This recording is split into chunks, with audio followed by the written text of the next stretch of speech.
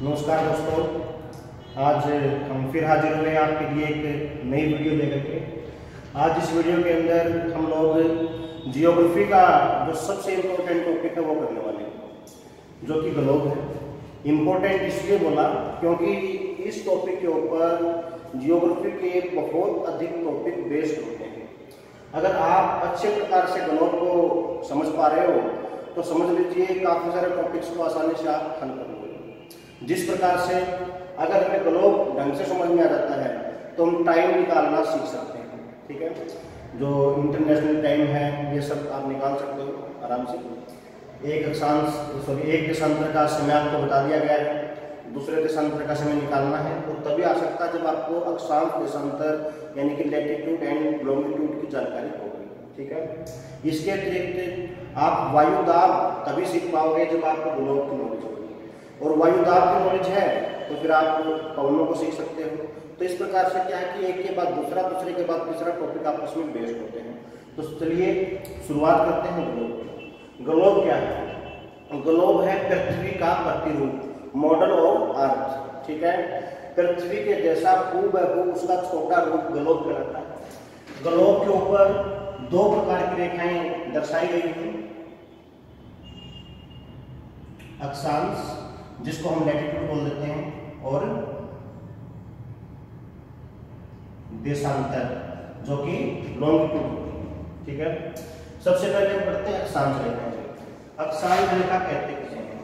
Globe पर। कहा? Globe पर। ग्लोब पर पश्चिम से पूर्व की ओर खींची जाने वाली काल्पनिक तथा समानांतर रेखाओं को अक्षांश रेखा कहा जाता है, ठीक है?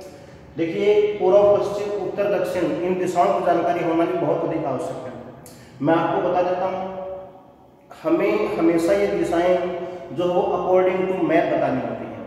हमारे राइट हैंड को पूर्व होता है लेफ़्ट हैंड को पश्चिम होता है, सिर की तरफ़ ऊपर उत्तर होता है और पैरों की तरफ़ दक्षिण होता है।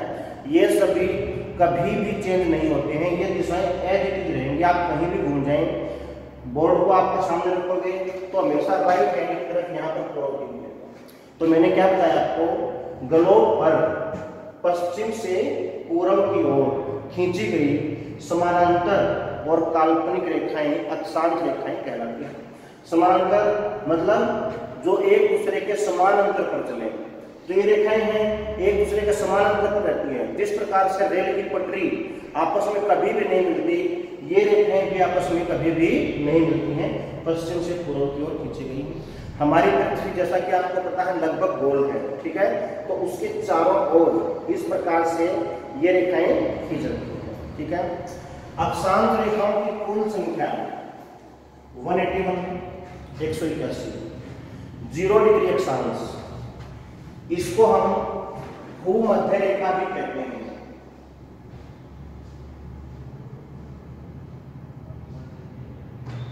यह रेखा पृथ्वी को लगभग दो समान भागों में बांटती है।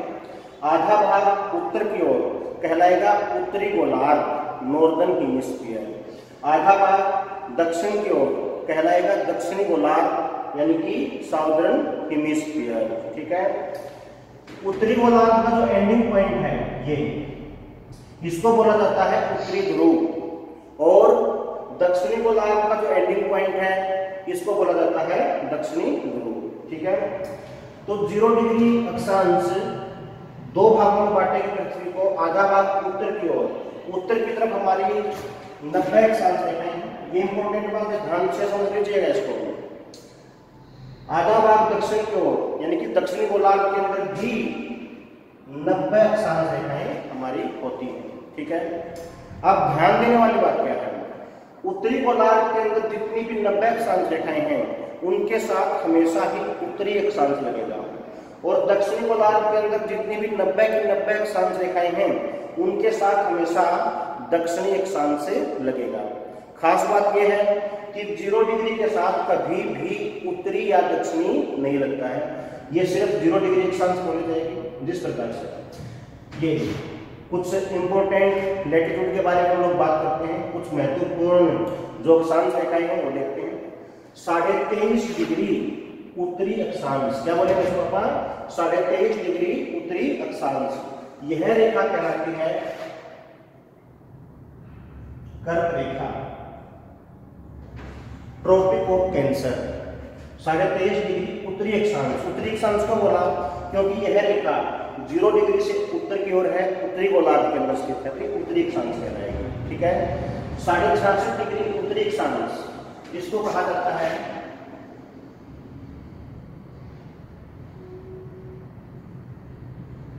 आर्कटिक व्यर्थ. आर्कटिक सर्कल ठीक है? इसी प्रकार से दक्षिणी गोलार्ध के अंदर साढ़े तेईस डिग्री दक्षिणी अक्षांश ये कहलाती है मकर रेखा, यानी कि ट्रॉपिक ऑफ़ कैप्रिकॉन। साढ़े छियासठ डिग्री दक्षिणी अक्षांश यह कहलाती है अंटार्कटिक अंटार्कटिका सर्कल, ठीक है? तो ये कुछ महत्वपूर्ण अक्षांश रेखाएँ अब यह एक प्रश्न पूछता है हमसे। कई बार पेपर में पहले पूछा जा चुका है कि दो अक्षांश रेखाओं के मध्य की दूरी कितनी होती है?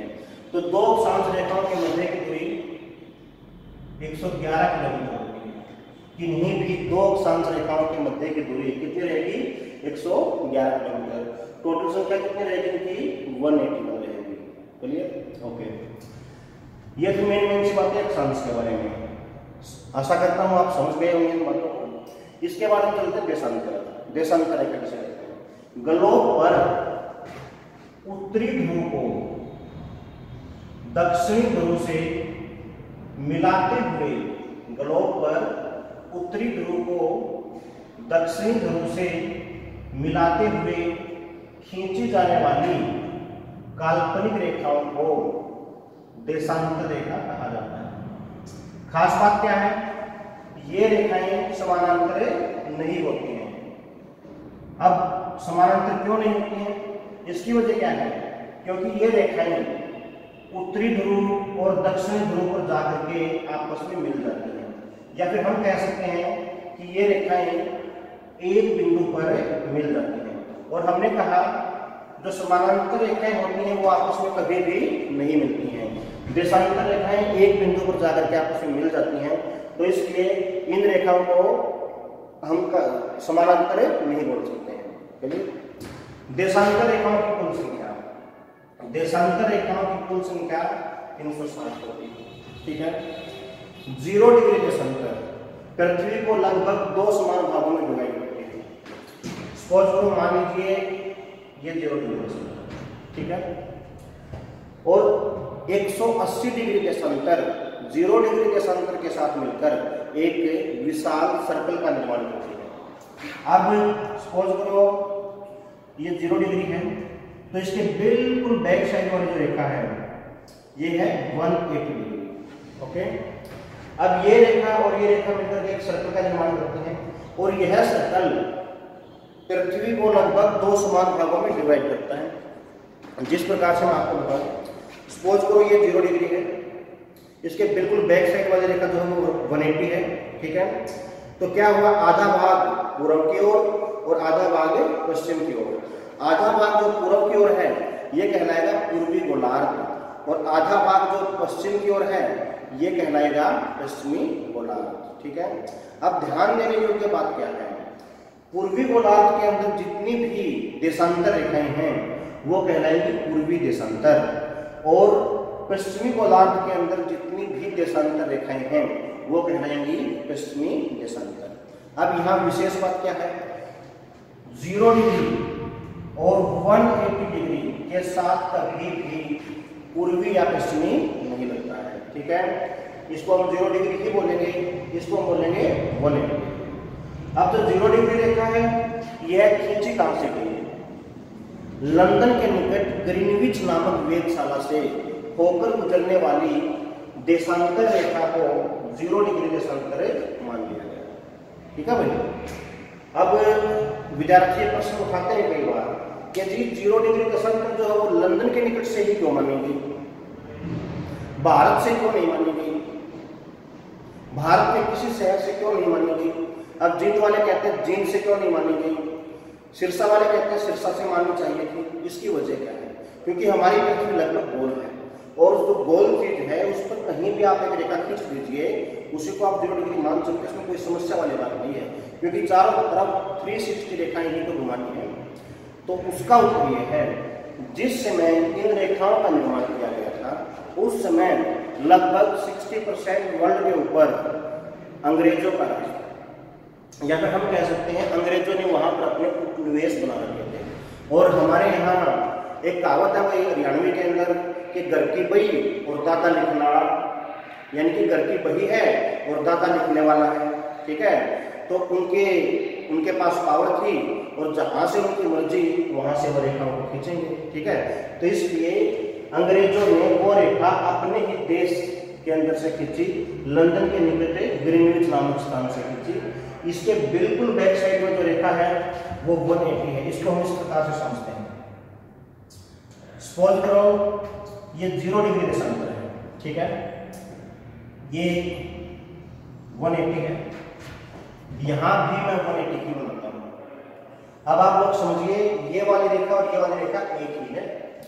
ये ज़ीरो डिग्री, पूर्व की तरफ़ से जाएँगे तो भी 180 आएगी, पश्चिम की तरफ़ से जाओगे तो भी 180 आएगी। तो ज़ीरो डिग्री से हम यहाँ पूर्व की ओर से जा रहे हैं और ज़ीरो डिग्री से यहाँ हम पश्चिम की ओर से जा रहे हैं। ज़ीरो डिग्री से पूर्व की ओर 180 तक 179 रेखाएँ हैं। और ये एक सौ उन्यासी देशांतर रेखाएँ कहलाती है पूर्वी देशांतर जबकि ज़ीरो डिग्री से आप पश्चिम की ओर जाओगे 180 तक तो यहाँ भी 179 रेखाएँ और ये देशांतर कहलाती है पश्चिमी देशांतर। चलिए, ओके। देशांतर रेखाओं के मध्य की अधिकतम दूरी कहाँ पर होगी कि किन्हीं भी दो देशांतर रेखाओं के मध्य की अधिकतम दूरी। भूमध्य रेखा पर होगी और वो कितनी होती है? 111.32 किलोमीटर ठीक है? तो अक्षांश रेखाओं के मध्य की अधिकतम दूरी थी 111 किलोमीटर और देशांतर रेखाओं के मध्य की अधिकतम दूरी है एक सौ ग्यारह पॉइंट तीन दो किलोमीटर। ठीक है? ओके। इसको मैं थोड़ा साफ़ कर देता हूँ किन्हीं भी दो देशांतर रेखाओं के मध्य है एक ये होगी एक ये होगी एक ये होगी इस प्रकार से। इसके इसके बीच या फिर इसके इसके बीच या फिर इसके इसके बीच। किन्हीं भी दो देशांतर रेखाओं के मध्य समय का अंतर चार मिनट का होता है, ठीक है? यहाँ भी चार मिनट है, यहाँ भी चार मिनट है, यहाँ भी चार मिनट ठीक? कोई भी दो दशांतर रेखाएँ हैं, उनके मध्य समय का अंतर कितना रहेगा? चार मिनट का रहेगा। अब चार मिनट का क्यों रहेगा? देखिए, जहाँ भी आप कोचिंग लेते हैं, जहाँ भी आप पढ़ते हैं तो मेरी आपको एक सलाह है कि ज्योग्राफी जो है वो एक साइंस का सब्जेक्ट है। और साइंस के अंदर हर बात के पीछे क्यों होता है? कैसे हुआ? क्यों हुआ? और उस क्यों को शांत किया जाना बहुत ही आवश्यक है। अगर आपका क्यों शांत हो जाता है तो समझ लीजिए, आप सब कुछ समझ जाओगे। ठीक है? तो यहाँ भी एक क्यों होता है कि चार मिनट का अंतर ही क्यों है? अब देखो, हमारी पृथ्वी अपने अक्ष पर घूर्णन करती है। एक्सिस पर जो घूर्णन है पृथ्वी का वो लगभग 24 घंटे में पूरा होता है। हम इसको बोल देते हैं तेईस घंटे छप्पन मिनट और चार पॉइंट ज़ीरो नौ सेकेंड, ठीक है, जो कि लगभग चौबीस घंटे होता है। तो हम ये कह सकते हैं कि पृथ्वी अपने एक्सिस पर एक घूर्णन लगभग 24 घंटे में पूरा कर लेती है, ओके? और पृथ्वी के चारों तरफ़ देशांतर रेखाएँ कितनी है? पृथ्वी के चारों ओर जो देशांतर रेखाएँ हैं, उनकी संख्या कितनी है? 360 360 ठीक है? तो हम इस प्रकार से बोल सकते हैं कि भाई 360 रेखाएँ पार करने में समय लगता है। कितना? 24 घंटे। ठीक है? एक देशांतर रेखा को पार करने में समय लगेगा। 24 घंटे में 360 ठीक है? इसको आसान करने के लिए हम इन घंटों की मिनट बना लेते हैं। तो मिनट बनाने के लिए किससे गुना करना पड़ेगा? 60 से गुना करना पड़ेगा। तो 24 गुना में 60 बटे में 360 काट दीजिए। ज़ीरो से ज़ीरो गया। छ से छिक छिक छत्तीस छः छः छः चौका चौबीस। कितना उत्तर आया? चलो और इस प्रकार से प्रत्येक देशांतर के मध्य कितने समय का अंतर होता है? चार मिनट का अंतर होता है। मेरे ख्याल से आप समझ गए होंगे। दोबारा से बता हूँ तीन सौ साठ देशांतर पार करने में समय लगा, चौबीस घंटे का। एक देशांतर को पार करने में समय लगेगा, चौबीस बटे तीन सौ साठ। आसान करने के लिए मिनट बना लिया मिनट बनाने के लिए साठ से गुना कर दी साठ गुना में चौबीस बटे तीन सौ साठ तो इसको आप सोल्व करोगे तो उत्तर आ जाएगा, चार। तो इस प्रकार से किन्हीं भी दो देशांतर के मध्य चार मिनट का अंतर पाया जाता है। ठीक है? यहाँ एक और इंपॉर्टेंट बात है, जो आप लोगों को ध्यान रखनी होगी। समय के बारे में। हमेशा पश्चिम से पूर्व की ओर जाते समय। कहा से? पश्चिम से पूर्व की ओर जाते समय। समय बढ़ा दिया जाता है।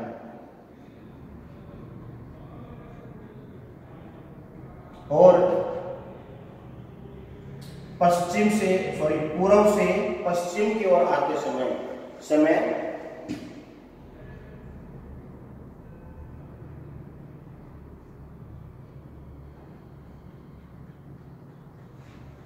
घटा दिया जाता है। अब ये कैसे हुआ? है ये देशांतर रेखा है, मैंने आपको यहाँ पर दिखाई है साफ़ करता हूँ सपोज़ करो इस रेखा के ऊपर बने हैं बारह। यहाँ पर जो समय है, कितना होना चाहिए? या तो बारह बजकर चार मिनट होना चाहिए, या फिर ग्यारह बजकर छप्पन मिनट होना चाहिए। मैंने आपको बताया कि पूर्व की तरफ़ जाने का समय बढ़ेगा तो उस हिसाब से यहाँ पर बारह बजकर चार मिनट होने चाहिए। अब देखिए, किस प्रकार से ये सब हुआ? सूर्य किस दिशा से निकलता हुआ प्रतीत होता है? पूर्व दिशा से, है ना? ऐसा क्यों है क्योंकि हमारी पृथ्वी पश्चिम से पूर्व की ओर घूर्णन करती है। और जब कोई भी चीज़ पश्चिम से पूर्व की तरफ़ घूर्णन करेगी तो सामने वाले को उसका पहले पूर्व वाला हिस्सा दिखाई देगा। ठीक है? तो हमारी पृथ्वी पश्चिम से पूर्व की हो जाती है। इस वजह से सूर्य की किरणें सर्वप्रथम पूर्व में गिरती हुई प्रतीत होती हैं। तो इसलिए हमें सूर्य पूर्व दिशा से उदय होता हुआ दिखाई देता है। ठीक है? अब देखो, सपोज़ करो यहाँ पर सूर्य उदय हुआ है। कितने बज गए? छह बज गए। ये रेखा है ज़ीरो डिग्री। ये है पंद्रह डिग्री पूर्वी देशांतर और ये है तीस डिग्री पूर्वी देशांतर पंद्रह डिग्री पश्चिमी देशांतर और तीस डिग्री पश्चिमी देशांतर यहाँ सूर्योदय हुआ है। कितने बजे हुआ है? छह बजे हुआ है, ठीक है? अब सूर्य की पहली किरण यहाँ गिरी तो हमको यहाँ पर सूर्योदय होता हुआ दिखाई दिया।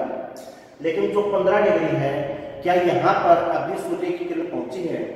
नहीं पहुँची है, क्योंकि पृथ्वी घूर्णन करेगी, घूमेगी, और एक घंटे के बाद ये वाली रेखा यहाँ पहुंचेगी, तब जाकर के हमको सूर्य की किरणें यहाँ पर प्रतीत होगी। इसका मतलब यहाँ पर अभी अंधेरा है, और अंधेरा है तो इसका मतलब यहाँ समय कम है। कितना कम है? एक डिग्री पर समय का अंतर हम लोगों ने बताया था कितना? चार मिनट का। तो यहाँ पर पंद्रह डिग्री का अंतर पड़ा। पंद्रह डिग्री का अंतर है तो समय का अंतर कितना होगा? एक घंटे का। पंद्रह चौका साठ। तो यहाँ पर कितने बजे हैं? पाँच। और उसी हिसाब से यहाँ पर चार, तीन, दो। अब देखो पूर्व की तरफ़ हम जा रहे हैं तो समय बढ़ रहा है क्या घट रहा है? समय बढ़ रहा है।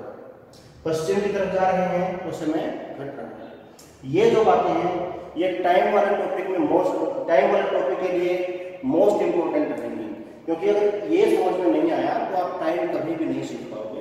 जैसा कि आपको पता है, तीन प्रकार का समय होता है। नेक्स्ट लेक्चर के अंदर मैं आपको टाइम सिखाऊँगा तो उस समय आपको इनके बारे में पता चलेगा, ठीक है? तो अक्षांश और देशांतर रेखाओं के बारे में हमने थोड़ी बहुत जानकारी जुटाने की यहाँ पर कोशिश की है। तो आज इस लेक्चर के अंदर हम इतना ही करेंगे। तो दोस्तों, इस वीडियो को आप देखिए लाइक कीजिए शेयर कीजिए सब्सक्राइब कीजिए। धन्यवाद।